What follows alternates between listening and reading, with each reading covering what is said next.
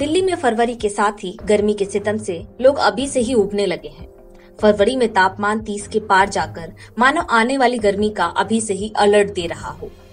बीते 10 दिनों से लगातार तापमान में बढ़ोतरी दर्ज हो रही है। लोग गर्मी से परेशान हो रहे हैं, लेकिन इस बीच एक राहत भरी खबर आई है। दिल्ली में भले पूरी फरवरी बारिश नहीं हुई हो, लेकिन मार्च की शुरुआत में बूंदाबांदी के आसार बनते नज़र आ रहे हैं। संभावना है कि एक मार्च को बूंदाबांदी के साथ तेज हवाएँ भी चलेंगी। हालाँकि गर्मी से राहत की अधिक उम्मीद नहीं है। तापमान में एक दो डिग्री की गिरावट होगी, लेकिन ये सामान्य से ऊपर ही रहेगा। दो मार्च से एक बार फिर तापमान 33 डिग्री के ऊपर पहुँच जाएगा। मार्च शुरू होने से पहले ही इसकी तुलना 2022 के गर्म मार्च से होने लगी है। दावा किया जा रहा है कि ये मार्च भी काफ़ी गर्म रहेगा। 2022 में मार्च का औसत न्यूनतम तापमान बहत्तर साल में दूसरा सबसे गर्म न्यूनतम तापमान रहा था। पिछले साल मार्च में बारिश नहीं हुई थी। इसकी वजह से मार्च में ही गर्मियों की शुरुआत हो गई थी।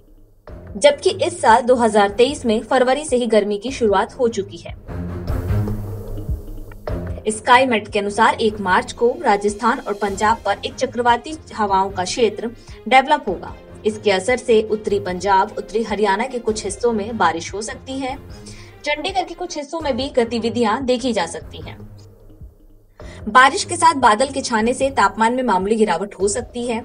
इसीलिए अधिक राहत की संभावना नहीं है। राजधानी दिल्ली इस सिस्टम से काफ़ी दूर है। इसीलिए यहाँ बारिश की गतिविधियों की संभावना बेहद कम है। हालाँकि अगर बारिश होती भी है तो इससे आने वाले दिनों में गर्मी से कोई राहत मिलती नज़र नहीं आएगी।